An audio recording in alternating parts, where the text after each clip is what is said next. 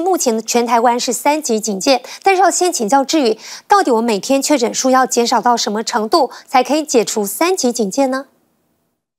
好，我们来看到，其实现在呢，全台湾都是在三级警戒的范围之内。原本这个三级警戒是在五月二十八号就可以解除了，但是因为疫情持续升温，完全确诊数是快速增加的状况之下呢，这个三级警戒延长到六月十四号。但是其实现在随着三级警戒，很多人都必须要待在家里，连带很多的小吃店还有餐厅，基本上也都没有办法营业，都只能采用一个外带的形式，所以很多的人经济生计也都受。到影响，所以很多人想要知道说，到底这个三级警戒有什么样的标准才能够解除呢？我们来看一下台大医院小儿感染科的主治医师李炳颖他是怎么说的。他说，依他的观察来看的话，至少每天的新增确诊数要降到三十人以下，才有机会解除这个三级警戒。不过这个说法听在这个沈富雄的耳里，认为说其实太过严格了。他认为说这个标准呢，应该设置在六十人到八十人就已经可以很满意。等于说他认为说。在六十到八十人每日单日确诊这个数字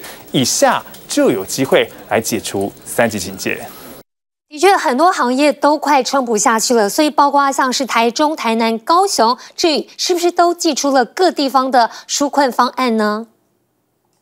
疫情绝对联动经济，尤其现在全台湾都是在三级警戒的范围之内，很多的劳工是一夕之间没有工作，甚至很多中小企业的老板也都在频频找资金。不过，到底要怎么撑过这段时间呢？纾困就非常重要了。我们来看到了台中推出了纾困十方，这是延续他们去年的一个政界纾困九件所推出了一个新方案，总共有十项，包括呢有些资金的纾困缺口可以供你使用，还有劳工失业生活以及子女的就学。补助也都在内容之列，还有呢，安心及时上工，还有演艺的纾困补助，有需要的民众都可以来做参考。再来，我们呢往南走，来看到是台南，台南把纾困贷款延到了六月底，当中有哪些内容呢？还有包括是营运的资金贷款，还有振兴的资金贷款，甚至呢旧有的贷款也都可以展延。再往南走，我们来看到是高雄，高雄也推出了纾困三方案，包括有哪些呢？安心就业，还有线上的职训津贴补助，甚至呢是失业生活子女的就学补助。如果你今天放五星假的话，就可以领一万九百块。所以有需要的民众也可以向高雄市府来做询问。那么来看到，其实现在这个时间，很多人刚刚我们提到，一夕之间没有了工作，若被资遣了，又该怎么办呢？提醒你一定要拿到这一份非自愿离职证明，因为只有拿到证明，才可以证明说你不是自愿离职。所以后续相关的离职，还有一些失业的补助管道，才有办法透过这个证明拿到该有的钱。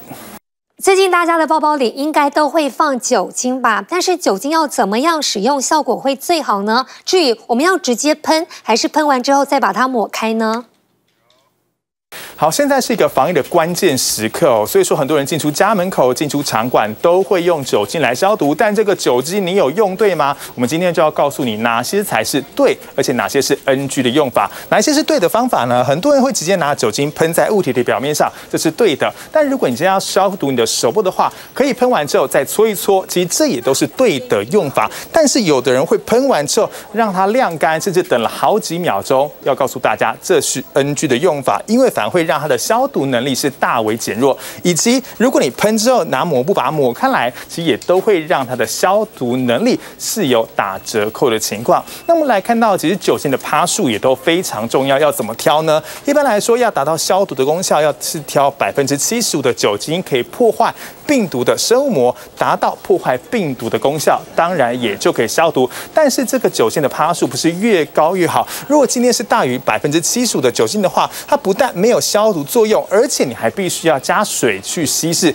大概呢是用纯水三比一的方式来做稀释，才可以达到所谓的消毒功效。而中医大学的教授张明威也告诉大家了，其实很多人会有一个感觉说，只要酒精不就可以了吗？他说，如果今天呢，像高粱、威士忌是不能达到体内消毒的状态，顶多就是精神消毒。他认为这是传言，大家一定要来辨明。请订阅、按赞、分享 TVBS News 频道，要开启小铃铛哦。还有还有，下载 TVBS 新闻手机 App，随时掌握国内外大事。